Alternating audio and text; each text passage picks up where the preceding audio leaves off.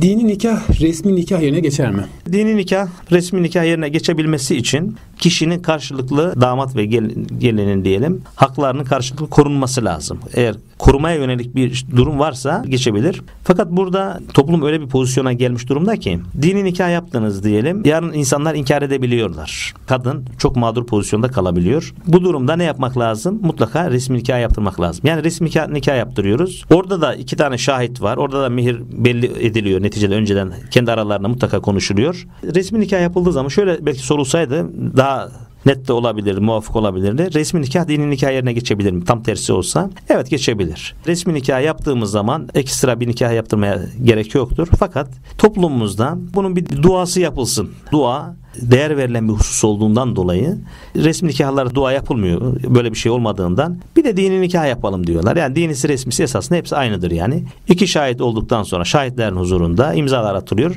Resmi nikah daha garanti olmuş oluyor. Hatta benim babam imamdı. Bir nikah yapılacağı zaman babam şunu sorardı. Resmi nikahınızı yaptınız mı? Yapmadılarsa nikahı kıymazdı. Yani Onunla şey yapmazdı. Yani resmi nikahınızı yapın önce gelin ondan sonra ben e, nikahınızı kıyayım derdi. Çünkü günümüzde yaşanan tüm olumsuzluklar insanları böyle davranmaya itiyor, itmeli. Sadece dini nikaha güvenerek yola çıkmamalı eşler.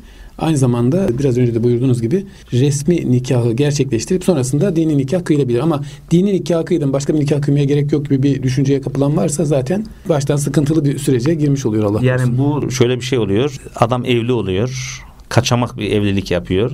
İnsanlar duymazsa resmiyeti yapamıyor tabi. Medeni kanunda tek e- eşlilik var ya. Bunu da ikinci yedek hatun olarak artık onda bir başka bir ev vesaire açıyor. Bu tür şeyler de yapılıyor. Bunlar doğru şeyler değil. Eşin izni olmadan, eşin haberi olmadan, insanların haberi olmadan böyle bir nikah yapmak, böyle bir erkeğe diyelim hanım olmak, başkalarının yani hak, hakların hukukunu korumadan hem o hanımefendinin belki o andaki parasına puluna güveniyor o beyefendinin. Böyle bir şeye girmek evlatlarında sonra mağdur olmasına, doğacak çocukların mağdur olmasına, daha sonra da duyulduğu zaman bu belki iki aile arasında, kadınlar arasında ciddi bir huzursuzluğa hatta cinayetlere sebebiyet verdiğini gazetelerden bugün okuyoruz, görüyoruz. Hatta dün böyle bir şey okudum. Çok enteresanıma gitti. Birisinin beyi iki tane kadını aldatıyormuş vesaire. O kadınlar o aldatan adamın eşini e, gidiyorlar evini basıyorlar. Senin kocan falan aldattı diye, yoldan çıkardı diye.